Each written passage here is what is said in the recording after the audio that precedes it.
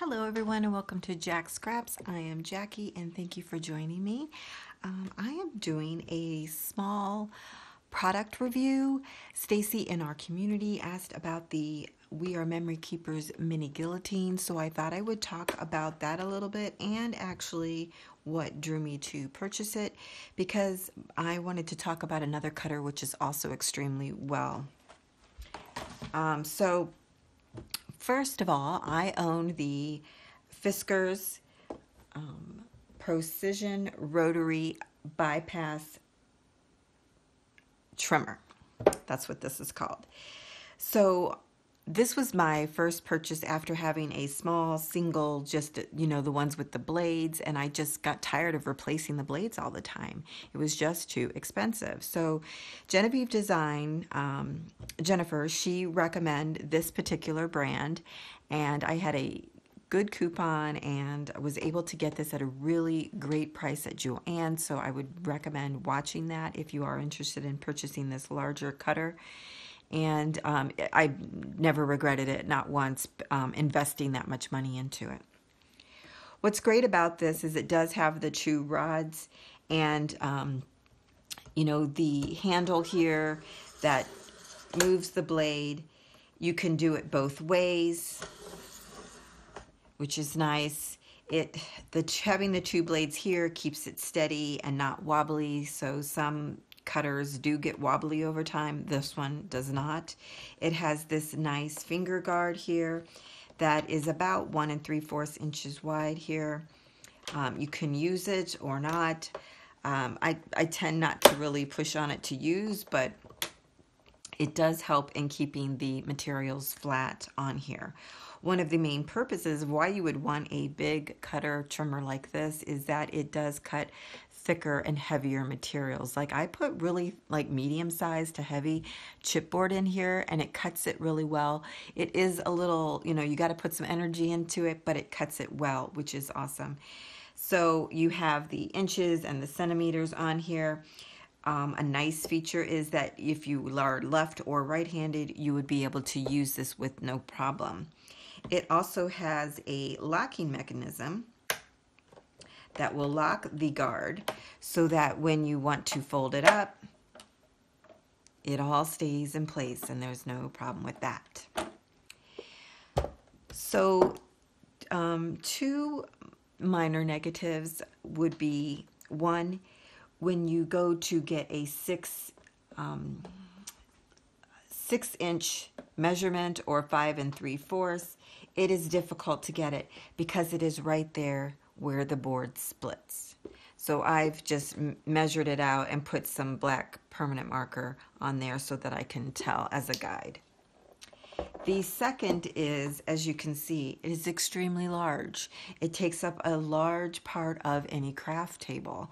So while I love that I can cut my 12 by 12s and even longer actually, it gives you up to 13 inches long and you could even do longer than that. It does provide you some measurements here on this side too to um, measure out that way. So, but measuring it, you know, using it on your table, it does get to be quite large. So I wanted to invest in a smaller cutter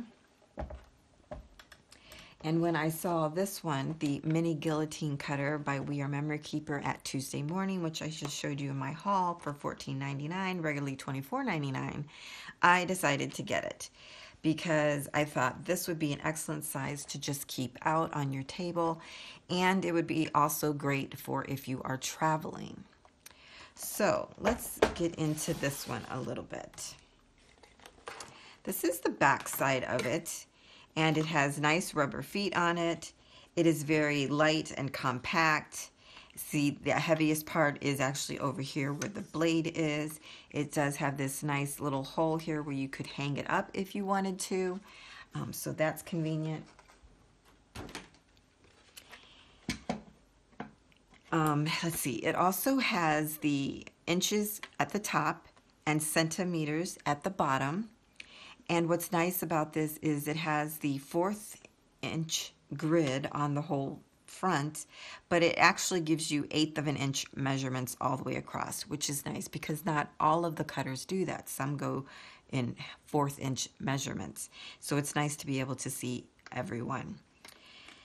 The next thing that is great about this is the two inch finger guard.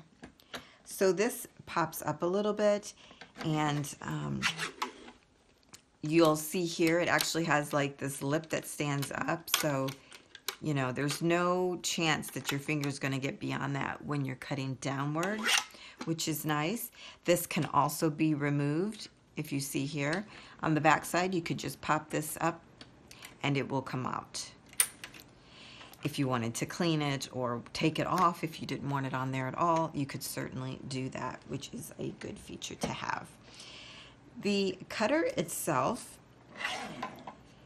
I mean, it just has a fantastic sound, I must say. So when you raise the lever, you please be careful because sometimes it does come down just a smidge once you put it up. Sometimes it does come back down a little bit, um, but be sure to move this up all the way to make a cut. So um, this is 110 pound cardstock. And this cuts it really well. I'm just going to use this as an example, cutting randomly. Now there I didn't put my fingers on the guide, but you could see it did lift it up a bit, but it still cut it straight. And I must say, this cuts so well. It's um, very flat and crisp cut, and I really like that feature about it. I've also used regular paper in this. So let's do, I've printed these out so I could use as examples. So if you have an 8.5 by 11 page and you turn it landscape, you can definitely put it in here and cut I imagine even if your page was longer this way, you could just, you know, remove the finger guard and you would still be able to use it. So this is probably maybe 28 or so, you know, pound, and it cuts it again, just very cleanly across there. I mean, there's no bumping, no nothing. Um, so it's almost like cutting butter. Very nice. The one thing I did find, let's see, let me get you an example here. So let's cut out these tags, right?